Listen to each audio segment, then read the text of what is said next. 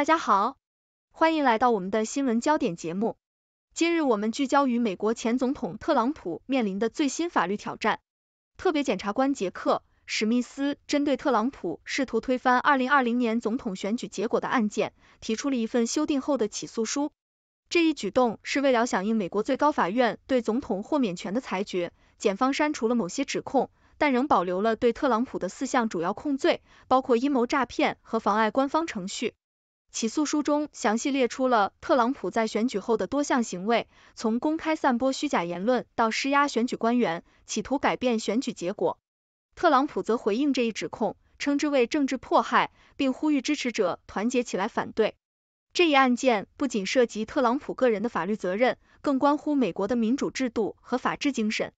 随着案件的深入，更多的细节和证据将可能浮出水面，社会各界对此案件的关注也将持续升温。无论最终结果如何，这一案件势必会在美国的政治和法律历史上留下深刻的印记。请大家继续收看详细内容。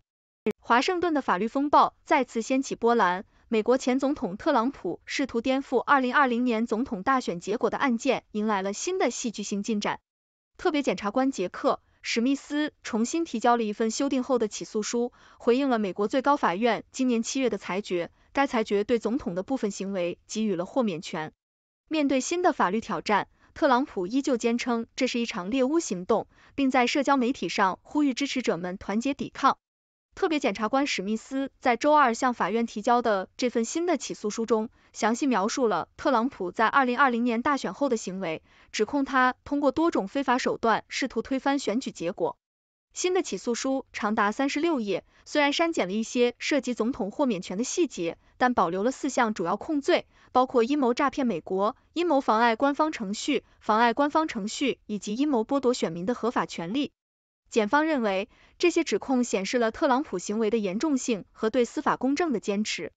在起诉书中，史密斯详细描述了特朗普及其团队在选举后的具体行动，指出特朗普多次公开发表虚假言论，声称选举被偷走，并试图通过施压选举官员和利用司法部权力推翻选举结果。检方指出，特朗普曾要求时任司法部长威廉。巴尔宣称选举存在广泛的舞弊行为，但巴尔拒绝了这一请求，并公开表示没有证据支持这些指控。面对新的起诉书，特朗普在社交媒体上大声疾呼，称这是政治迫害的一部分，试图通过法律手段打击他的政治生涯。他在 Truth Social 账户上写道：“这是华盛顿特区死亡的猎巫行动，为了挽回面子，非法任命的特别检察官疯狂的杰克。”史密斯对我提出了一项荒谬的新起诉书，他还指责检方和民主党试图通过这些指控阻止他再次竞选总统，并呼吁他的支持者们团结起来，抵制这一政治迫害。特朗普的律师团队也迅速发表声明，称新的起诉书毫无根据，并表示他们将全力为特朗普辩护。律师团队强调，特朗普在选举后的言行是行使他的言论自由权利，并没有违反任何法律。此外，他们还指出，最高法院的裁决确认了特朗普在其公职行为中享有一定程度的刑事豁免权。这意味着，作为总统，特朗普在执行其职务时的一些行为可能不受刑事起诉的约束。然而，检方认为，特朗普的行为已经超出了合法的范围，构成了犯罪。在新的起诉书中，史密斯指出，特朗普及其团队在选举后采取了一系列行动。试图通过虚假陈述和非法手段影响选举结果，包括向选举官员施压、传播虚假信息以及试图阻止选举结果的认证。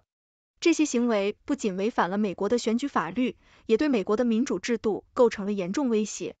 这一案件的进展引发了广泛的关注和讨论。支持特朗普的人认为这是对他的一种政治打击，而反对者则认为这是对法治的维护，是对试图破坏民主选举行为的有力回击。特别是考虑到特朗普是美国历史上第一位面临刑事指控并被判有罪的前总统，这一案件更是引发了社会各界的强烈反应。最高法院的裁决对这起案件产生了深远的影响。七月一日，最高法院裁定，所有官方总统行为都有权享有推定豁免权，免于起诉。这一裁决标志着行政权力的显著扩大，特别是涉及到二零二一年一月六日特朗普支持者冲进美国国会大厦的事件。法院的多数派直接提到起诉书，指出特朗普被指控在一月六日试图争取副总统的支持来改变选举结果。由于与副总统互动是总统公务的一部分，法院解释说，特朗普至少可以推定免于因此类行为而受到起诉。最高法院目前拥有保守派的绝对多数，其中三名法官由特朗普亲自任命。这一裁决以六比三的投票结果通过，所有三名反对者均为左翼法官。法院的裁决不仅对华盛顿的案件产生了直接影响，也对特朗普面临的其他起诉书产生了影响。特别检察官史密斯的修订起诉书显示了联邦检察官如何对裁决作出回应。起诉书新增的描述强调了特朗普与官方圈子之外的人互动的行为，以避免涉及总统公务的豁免权。在起诉书其他部分，检察官们煞费苦心的将特朗普总统与特朗普政治候选人区分开来，例如。起诉书的第一版说被告反复广泛传播虚假信息，而第二版则更新为被告利用他的竞选活动重复和广泛传播虚假信息。此外，修改后的起诉书承认特朗普有时以总统的身份使用他的推特账户与公众沟通，然后强调他还经常将其用于个人目的。尽管如此，核心指控依然未变，特朗普参与了欺骗美国的阴谋，妨碍和阻碍官方程序，并阻止合法选票被计票。起诉书详细说明了特朗普如何煽动支持者采取行动，向选举官员施压，并参与伪造选举人团选票的计划。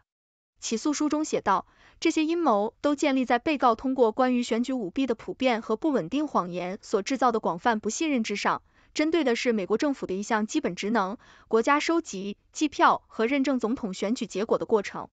史密斯表示，新的起诉书体现了政府努力尊重和执行最高法院的判决和发回重审指示的努力。他最初于二零二三年八月一日提出干预选举的起诉书，此前大陪审团投票决定起诉特朗普在二零二零年大选及其后果期间的行为。这是四项起诉书中的第三项。预计华盛顿联邦地区法院法官塔尼亚·丘特坎将对此案作出裁决。该案不太可能在十一月的大选前开庭审理。无论最终结果如何，这起案件无疑将在美国历史上留下一页浓墨重彩的篇章，对未来的政治和法律制度产生深远影响。公众将继续关注这一案件的发展，希望通过这一案件能够进一步了解真相，并确保美国的选举制度和法治精神得到维护。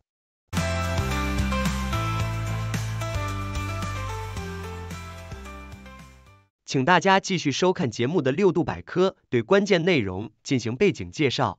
美国前总统特朗普试图颠覆二零二零年总统大选结果的案件，在最近出现了新进展。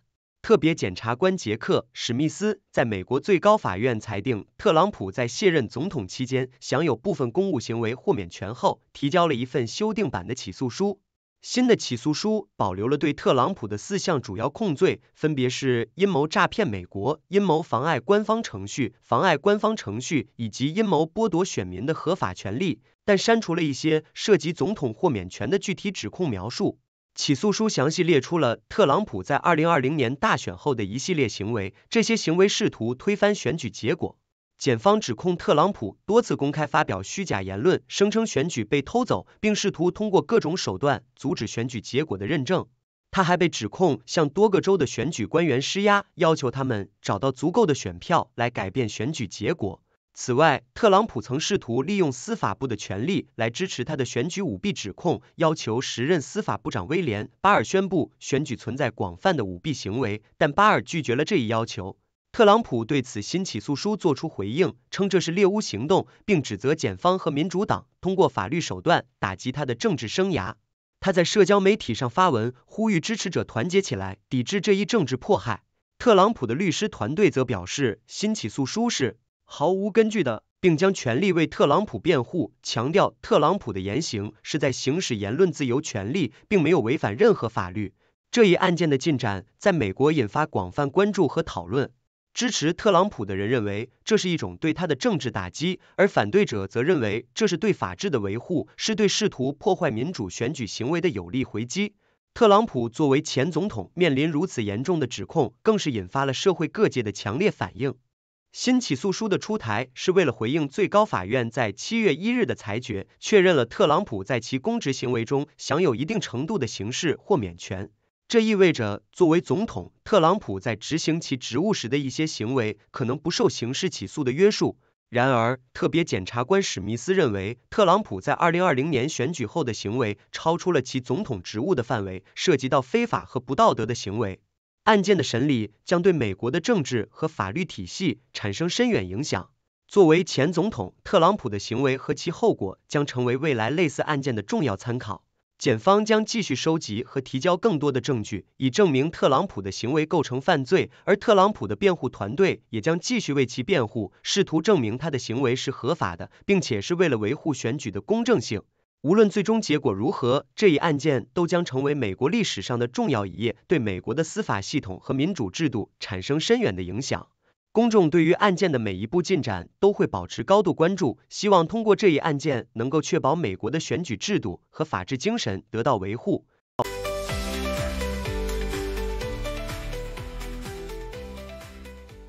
欢迎大家进入六度探索的辩论环节，我们从正反两个角度对本节目进行辩论，请出我们的辩论高手楚天舒、谢琪琪。我是楚天舒，我是谢琪琪。特朗普这次可真是摊上大事了。你看看这新起诉书，三十六页详细列举了他在大选后的各种操作，仿佛是给编剧提供了一个绝妙的政治惊悚片剧本啊！不得不说，史密斯检察官真是下了大功夫，连特朗普的社交媒体发言都成了证据。你要知道，历史上卸任总统面临这种刑事指控可是凤毛麟角。特朗普这次真是开创了先河啊！楚天舒，你这话说的可真够夸张的。特朗普称这是猎巫行动，我看还真有点道理。这不就是政敌之间的你来我往吗？你说特朗普威胁民主，可别忘了民主党也曾在选举结果上闹过不少动静。再说了，最高法院都说了，特朗普在公职行为上是有豁免权的。这起诉书到底能不能成立，还真不好说呢。历史上，尼克松不也差点被弹劾吗？最后还不是全身而退。特朗普也许就是下一个不倒翁呢。谢琪琪，你这话真是为特朗普打了鸡血。不过别忘了，尼克松可是辞职了，特朗普可没那么体面。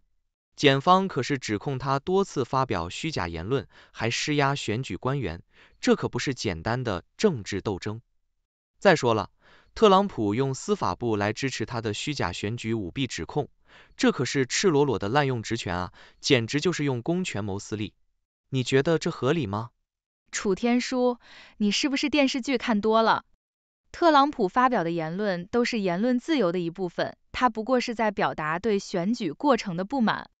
再说了，美国历史上哪次选举没点争议？你还记得两千年布什对戈尔的那场选举吗？那可是打到了最高法院。特朗普这回不过是用他的方式抗争罢了。至于施压选举官员，都是江湖传闻，哪有确凿证据？我们都知道“子虚乌有”这个词可不是白来的。谢琪琪，你这套说辞可真是死鸭子嘴硬。言论自由不等于可以肆无忌惮的撒谎，更不能在没有证据的情况下指控选举舞弊。你要知道，司法部长巴尔都拒绝了特朗普的要求，并公开表示没有证据支持这些指控。你还记得水门事件吗？那可是证据确凿的政治丑闻。特朗普这回的行为真的是在挑战美国的法治精神。如果这次让他全身而退，那美国的民主制度岂不是形同虚设？楚天舒，你真的以为美国的民主制度会因为特朗普一个人就崩塌吗？别太小看美国的制度了。再说了，难道你忘了特朗普可是有数千万支持者的，他们可是认为这是政治迫害。你记得《麦克白》里的那句台词吗？人生不过是个行走的影子，一个蹩脚的演员在舞台上喧嚣一时，最后归于沉寂。特朗普不过是这个舞台上的一个蹩脚演员，这场戏还没到落幕的时候呢。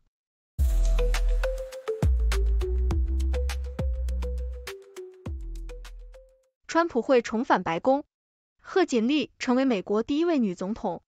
二零二四年世界第一大竞争，谁胜谁输？天下都会大变。美国导报，来自美国大事现场的信息。华盛顿、华尔街、硅谷，还是美国任何一个州。美国导报，YouTube.com at American Briefing。